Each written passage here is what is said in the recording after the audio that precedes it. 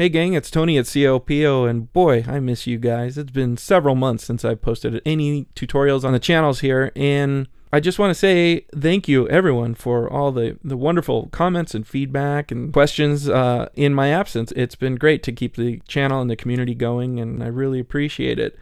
I'll be back soon with more tutorials, but in the meantime, I just wanted to throw up another quick tutorial because you guys know me. I like to solve things with as few paid plugins as possible. And today I had this need to create some fog. And sure, there are expensive plugins out there like Turbulence FD, there's X Particles, there's fluid simulations and all that stuff. But sometimes you're just in a hurry and you just don't have the time to learn that stuff, or you don't have the money to pay for those plugins. And in this case, I just needed a quick little fog uh, roll in for a composite. So technically, I'm using a 3D program to cheat a 2D effect. So we're using 3D to do a 2D plate that we can then use in like After Effects or Nuke or something to composite uh, some fog. So it's not technically a real 3D scene here. Uh, however, you could probably project this onto different geometry and sprinkle it throughout a track 3D scene and, and have some decent results. But this this tutorial is just for a nice quick demonstration to just show using built-in texture and noise shaders in Cinema how you can create a similar effect. So let's get into it. So for starters, what I want to do is I want to create an object to project this texture on it. And we're working in high def format. So I'm just going to make an object that's 1920 by 1080 and we don't need any segments in there. I do want to have it facing up and down and orienting away from the camera. So what we can do is come over to our front view and I can dolly out and just fill our frame just so there's no edges of that geometry going outside of the frame. And I'm going to create a camera and then look through that camera. And now we have an object that's perfectly perpendicular to our viewing plane. Next, I want to create a new texture. I can double click down here in the material editor, double click the material to open it up. And I don't want color and I don't want reflectance. I'm in R16 by the way. It doesn't matter though because what we're going to do is in the luminance channel and I'm going to stack several textures on top of each other. So before I even start, I just want to start with a layer shader and then I can go into the layer shader and add my first noise shader. So if I click this little icon, I can go within the settings for the noise. And right off the bat, I'm going to change it from the default noise to a blistered turbulence. And what I want to do is change the scale of this. This is really small. So I'm going to bump this global scale here up to a thousand. And you can see over here, let me change this from a sphere to a plane as well. And I'll make these larger. Now what we want to do, we want to animate the blistered turbulence in here. And you can do that here by changing the animation speed from zero. We're going to do something slow like 0.2. Now I changed the animation value here, but you don't see it animating. But what you can do is right click and hit animate. And now you can see it's previewing and then once it caches it starts playing back at more an optimal speed. And again I want to also animate this window over here. Now this is showing the current shader that we're working on and this is showing the finished product. If you had bump channels and reflection and transparency it would show everything combined over here composited. And this is just showing the single value of the shader that we're working in here. So in addition to this blister turbulence uh, animating within itself, I also wanted to animate across the surface of the geometry that we apply it to. And you do that here in the movement. This is X, Y, and Z. And I'm going to tell it to move. I want it to move left to right. So if I put in a 1, it's going to move right to left. So I want to put in a minus 1. But you see, it's still not moving until I add some speed. So here, if I just put a 1%, now you can see it's moving. And again, if I make this just a positive one, it goes the opposite direction. I want mine to go left to right. Minus one. 1% is too fast. I want to make this kind of slow. I want to make this 0.2. Now, this could work for a really quick fog if you wanted it to, but for me, it's a little too computery and digital looking. I also want to take the value of the pure white down to 60. So this is going to be made up of black to gray. The second thing I'm going to do now, I'm going to back out of this and I want to create another shader, another noise shader, just like the one we were doing. This time I'm going to change it to a wavy turbulence. And instead of going up to a thousand, this time I'm just going to go up to 500 on the scale for this one. Now, the other thing I want to do, I want to increase the contrast between these two. But first, I'm going to take that white down to 60 in here as well. But I want to show some contrast in here.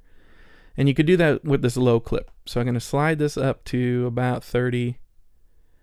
And now you can see I've got some holes that are popping through now. And this is what I want. And again, I want to animate this.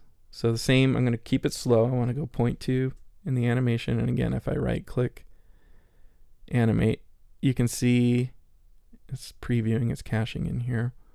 But you can see that this texture has kind of got a little turbulence happening in it. Now this one I want to animate left to right again, so I want to go minus one like before.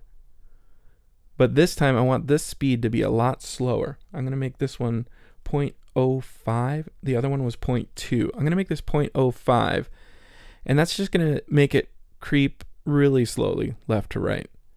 Now the reason we're doing this, when we bring the two together, currently one is overlapping the other. So here's the one on the bottom, turn the one on the top, and it's masking it out completely. But if I bring the opacity down to about half, now the two are blending together, but I want to go even further. I'm going to change this from normal to overlay. And it's much like how Photoshop blending modes work that 50% does nothing, white blows it out, and black makes it darker. So we're just taking that black and gray and we're overlaying it. So it's just putting the darks in there.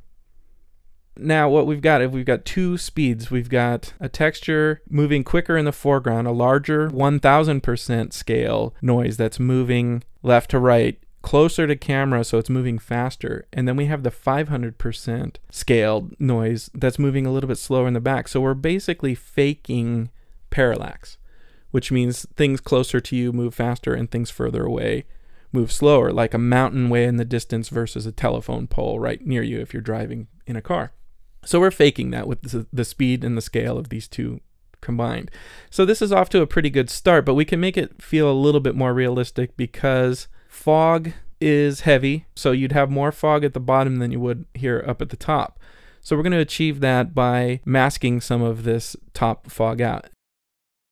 And what I want to do that with, I'm going to duplicate the noise at the bottom. Whoops, I clicked it. Grab Command and the icon, not the name, but the icon.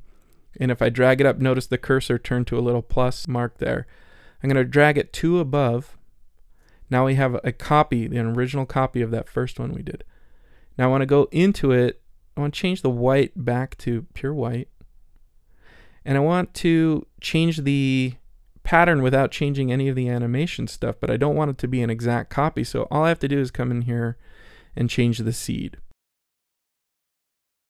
Now you can see it's still animating, but I've got a different pattern with all the same scale, animation, speed settings, and everything. So now what I can do is come back out and I want to change this from normal to multiply. So the white is going to go away, but the black, let me animate this one as well. The black is going to start masking out the texture underneath.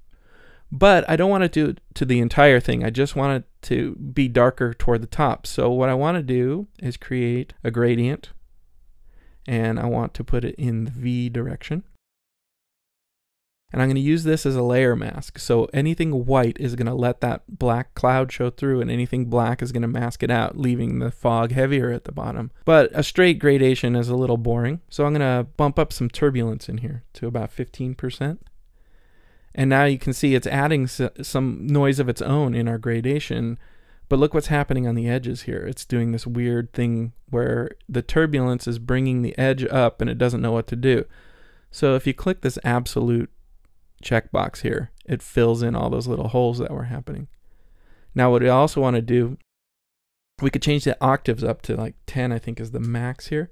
And that's going to add a little bit more detail in here. If you see, if I change this to 1, there's hardly any detail going on in here. But if I turn it up to 10, it's cloudy and it looks uh, a little more organic and cool. If I change the frequency to 0.2, this is actually going to kind of bubble a little bit in here. This is going to animate. Let me bring that frequency up to more like 0.5 maybe. And now you can see, let me animate this. Now you can see that our mask is now animating as well. But I want most of the black of that upper cloud to mask out the fog underneath. So I want to slide the knot in our gradation here from the middle to about here. So a lot of this mask is now going to uh, let that darker cloud above reveal it. And I'll show you that right now. So if we now change this gradient from normal to layer mask, it does nothing above here. But if I slide it under that multiply, it now becomes a layer mask. So watch, if I turn it off, that multiply is happening to the whole thing. But if I turn it on, the multiply is only happening here and it's letting some of the fog stay heavier down here at the bottom. So I'm going to do the same. I want to duplicate that gradient mask because I'm going to use it again. So holding command and dragging the gradient up, setting it back to a layer mask, and then coming in here and just changing the seed so it's not the same. Then on our second noise, I'm going to copy that one, command, drag it. I'm going to come in here. I'm going to change the seed of this one too. Get something with some darkness toward the top, maybe like that. And I'm going to change the white back to pure white. And now this to multiply as well.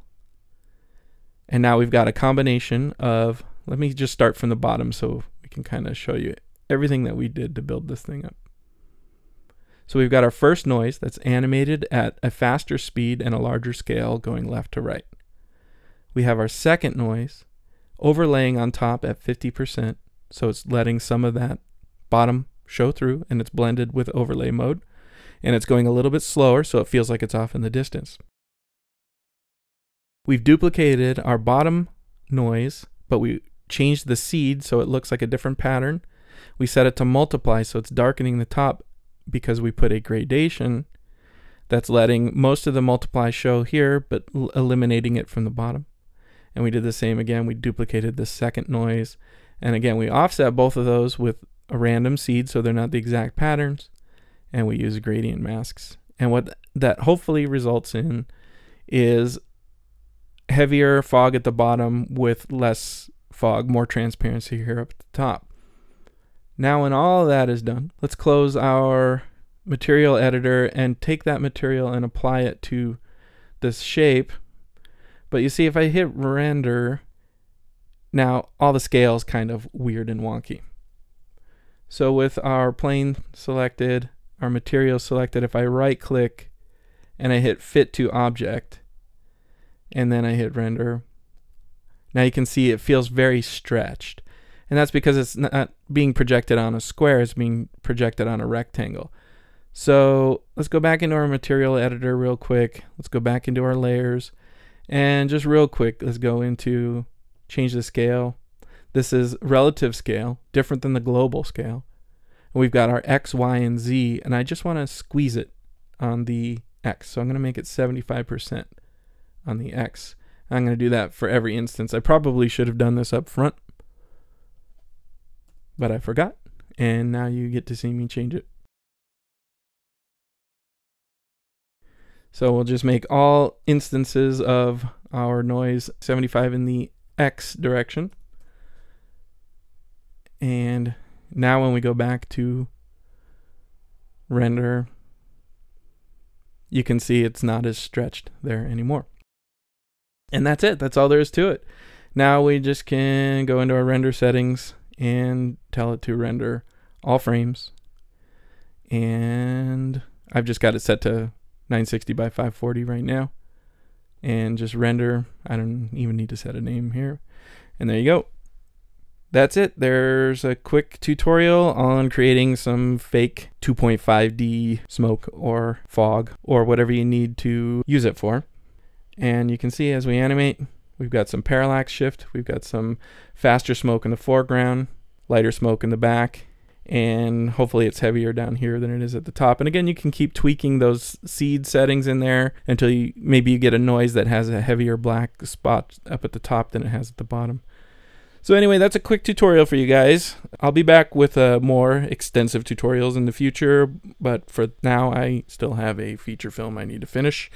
But I didn't want to lose your attention because I know it's been a long enough wait as it is. So thank you guys for sticking with me and thanks for watching another tutorial and we'll see you all really soon. Bye everybody.